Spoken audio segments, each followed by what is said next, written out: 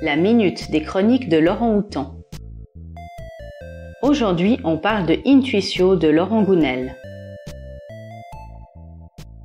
L'histoire de ce thriller écologico-politique démarre de manière spectaculaire avec le tableau de l'attaque incendiaire d'une tour de Chicago. C'est tellement bien décrit que l'on suit toute la scène presque au ralenti. D'ailleurs, on va même y surprendre l'individu qui pousse le bouton du détonateur.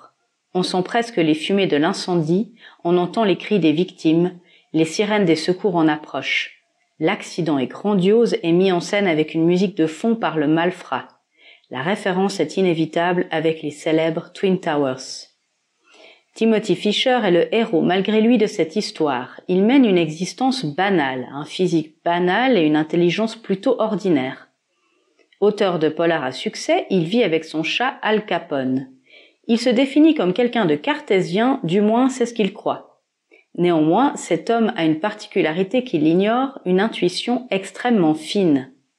Un jour, des agents du FBI viennent frapper à sa porte et prétendent avoir besoin de ses services. Ça paraît vraiment étrange, mais soit. On comprendra pourquoi plus tard. Ils l'embarquent dans un véhicule, puis un hélico, ils le conduisent auprès d'Anna Sanders, responsable d'un projet à Fort Meade, un site de l'armée.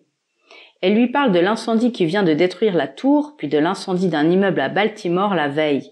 Deux incendies criminels sont ainsi liés et feront sinistrement partie d'une série à venir. Non sans mal, après force séduction et persuasion de la part des agents, ils réussissent à enjoindre Timothy dans un programme secret visant à former des intuitifs.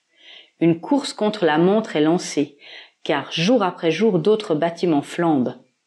Que l'on croit ou non à l'intuition, peu importe, mais ce roman a l'intérêt de nous faire découvrir la méthode du remote viewing, et il est très bien documenté, à savoir que les recherches sur l'utilisation de l'intuition à des fins militaires datent des années 70 et elles sont bien réelles. L'entraînement est surtout basé sur le décodage des informations du subconscient et comment faire la différence entre nos intuitions, nos peurs et nos systèmes d'alarme interne? Timothy suit donc un entraînement sincère et acharné avec l'aide d'Anna. Oui, il fera de la résistance au début car il aura de la peine à croire en ses capacités parapsychiques. Mais l'entraînement porte ses fruits et commence à donner des résultats qui se prouvent sur le terrain et aident à l'enquête. Ce thriller a du rythme et de l'action. C'est une enquête pleine de rebondissements. Le ton est frais, ludique, la progression de l'histoire hyper divertissante. Vous apprécierez certainement aussi les échanges philosophiques entre Anna et Timothy. Mais il y a davantage que ça dans ce récit.